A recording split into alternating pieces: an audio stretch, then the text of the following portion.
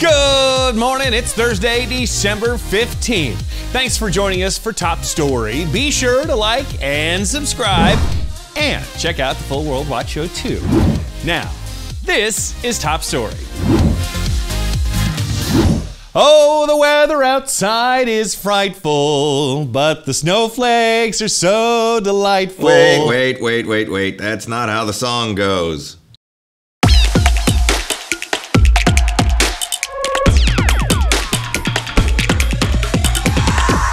It's signature science.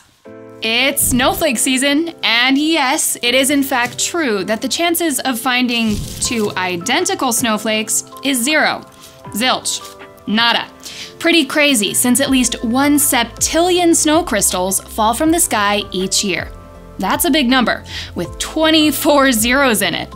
The reason each snowflake is unique is because a snow crystal's shape is determined by the precise path it took falling to the ground. Flakes form in clouds when water vapor freezes onto a pollen or dust particle and becomes an ice crystal.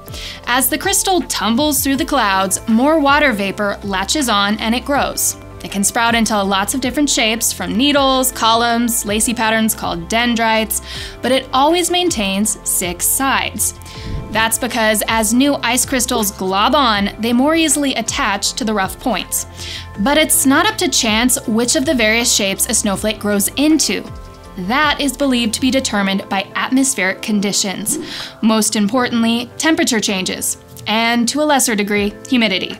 Certain shapes are the result of specific temperatures. For example, long needle-like crystals form at 23 degrees, while very flat plate-like crystals take shape at 5 degrees. Of course, temps fluctuate as the crystal falls, and that creates more unique shapes. Kenneth Libbrecht is the world's snow crystal expert, and because he knows exactly what conditions create which crystal shapes, he's able to predict and design specific snowflake patterns when he grows snow crystals in his lab. This beauty took 44 minutes. And while each of the six sides of a snowflake form independently and without communicating, they form with near symmetry because each side experiences the same conditions as the crystal falls. There's so much more we could get into. The science behind snowflakes is complex, and there's a lot we still don't understand. But perhaps that's one of the reasons snowflakes are so beautiful. Hey, make sure you're checking out that full-sided worldwatch.news forward slash free video. You can try out the show free for a month. Well, thanks for watching, everybody. I'm the Big Bash. Remember, whatever the news, the purpose of the Lord will stand.